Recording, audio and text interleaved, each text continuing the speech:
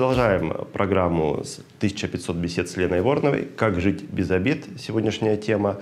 И мы говорим о тех, кто называет себя троллями. Понятное дело, что есть и фабрика троллей, и это используется в пропаганде. Но те тролли, которые не осознают, что они делают, почему они испытывают кайф от того, что унижают, оскорбляют? В чем вообще э, смысл вот этого? Я не понимаю вообще сути подобных поступков по одной простой причине. Нахожусь уже на другом уровне сознания. Когда ты находишься в состоянии капризного ребенка, ты начинаешь капризничать, чтобы тебе уделили внимание. Например, взрослые разговаривают между собой, а ты в это время приходишь и говоришь, ну пойдем поиграем, пойдем поиграем, вот, и все. Э, и тебе не важно, важный разговор у взрослых, нет, тебе важно, чтобы тебе лично уделили внимание. Вот это капризные дети для меня, которые, перейдя границу 18 лет, остались в состоянии пятилетних детей. То есть ты хочешь сказать, это не реализованная психологическая конструкция да. личности? Да, да. Это непонимание того, что происходит на самом деле. И не желание разбираться в этом, а желание высказать свое мнение как у Шарикова. Ну, в таком случае здесь э, звучит признак отсутствия эмпатии, когда ты э, не можешь ретранслировать на себя или не желаешь осознанно, да. И мне кажется, здесь важна эмоциональная составляющая. Где вот эта эмоция, что ты делаешь, э, как ты считаешь, э, если в другую сторону посмотреть, а как же можно помочь этим троллям? Можно помочь только одним: научить их понимать, по каким законам живет Земля по каким законам живет человеческое общество. Отлично. Вот подскажи тогда, вот как а... это можно образно, конечно, собрать. Я понимаю, что это тема отдельной передачи, да. но ты же все-таки мастер слова. Есть правила жизни на Земле.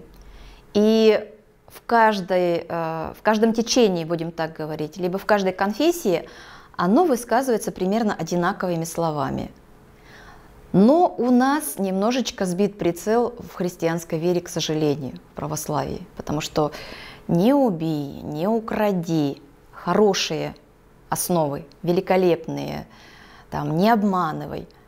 Но есть особенность у нашего мозга такая, у нашей структуры, вот этой мыслительной, она старается выкинуть э, вот это словечко «не», и получается, что такое двойное действие. Если мы возьмем арийские или славянские заповеди, там было сказано о том, что, э, например, делай другому то, что хочешь, чтобы делали тебе, а не не делай, наоборот. И вот такие, как бы вот эта оборотная сторона, она начала менять основу многих людей – есть многие разумные люди, которые разбираются в этом и быстро перестраиваются, что называется. А есть люди, которые не разбираются и идут вот в состоянии этого, извините за мысль, плохое слово скажу, в состоянии стада. Кто-то где-то сказал, мне понравилось, я тоже повторю. Только не тут повторю, а там, чтобы там думали, что я первоисточник. Ну, ты знаешь, это очень важная тема. На канале ТВ Экстра мы регулярно показываем передачи, которые заставляют думать или способствуют этому процессу.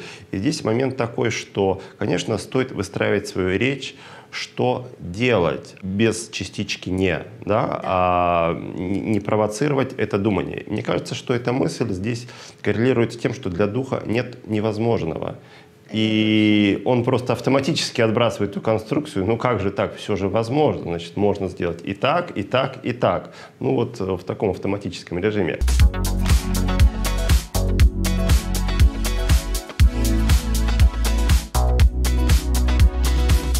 Продолжая говорить о тех, кто занимается хейтерством, это ненавистничеством, перевод такой, ну, аналог троллинга. Есть э, очень много комментариев, когда люди просто вмещают злобу. Да? Неважно, как, какая новость, хорошая, нехорошая, а все равно вот так им и надо, вот такие они негожие, а уродины и так далее. Ну, в общем, все, весь спектр э, негативных эмоций, которые вымещают. Иногда, почитав такие комментарии, вообще не хочется читать никаких комментариев, потому что э, в этой массе они тонут.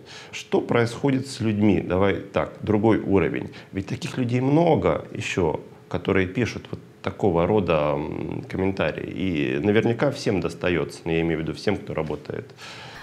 Знаете, с одной стороны, Денис, у меня есть такой момент, который э, их оправдывает. Они чем-то занимаются. Каждому человеку в жизни нужно чем-то заниматься. Вот. Они выбрали себе менее, э, будем говорить, хлопотную работу. Кого-то критиковать гораздо проще, чем сделать, пойти сделать самому. Знаешь, есть такой очень смешной слайд очередь за критикой бесконечная, да. очередь за советом там маленькая, а очередь да. кто делать ее нету, ее потому нет, что да. те, кто знает, что делать, они делают. Они делают, да, сами, и поэтому там не нужно ничего. И вот этот момент как раз, он очень интересно встраивается в жизнь людей. Самое интересное, я заметила вот за 14 лет, которые я очень активно наблюдаю за публикой, которая вот приходит и общается, я заметила такую вещь. Примерно 5 лет троллинга, а потом в самостоятельное плавание. И это так радует. Но за это время, за эти пять лет нарождаются новые тролли. Им тоже нужно пять лет для того, чтобы опять уйти в ну, самостоятельное Получается, плавание. это образовательный процесс. Да, и... одна из частей образовательного процесса. А задача тех, кого троллят, а, просто найти какую-то свою базу внутреннюю и понять, ты не можешь быть единственным, первое. Ты не можешь говорить то, что всем нравится. Это второе. Ты не можешь охватить все национальности, например, потому что у каждого есть своя особенность, персонализация, вот это вот есть. Но это абсолютизация. Ты говоришь о да. том, что абсолютным на Земле, в человеческом теле э, невозможно быть просто быть. невозможно. И это нужно принять как данность да. и перестать реагировать да.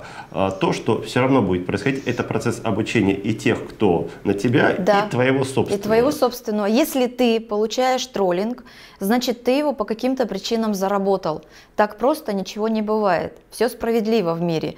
Если ты заработал, твоя задача отреагировать на это правильно. Или опять же это топливо для твоего движения вверх. Да. Чаще всего критики, кстати, порождают гениальное произведение, следующее у авторов, когда происходит вот как это, опускание до самого плинтуса, а потом поднимание до небес. Ну тогда следующий вопрос. А как же разделить здравую критику от просто потока мысли, которая льется? У тебя есть какие-то критерии, когда тебе пишут или какие-то сообщения приходят? У меня нет критериев. Мне просто слишком мало последнее время. Меня последнее время любят. Может быть, это для зрителей, когда приходит поток, э, ну не поток, опять же, как разделить, что это здравая критика, которую стоит переработать, принять, которая отзывается так же, что что-то не то, либо от того, что просто тебя пытаются собрать излишки твоей энергетики. Вот это, кстати, тоже они очень любят кормиться чем-то полезным таким. А, чаще всего люди разумные, они действительно разумные вещи пишут.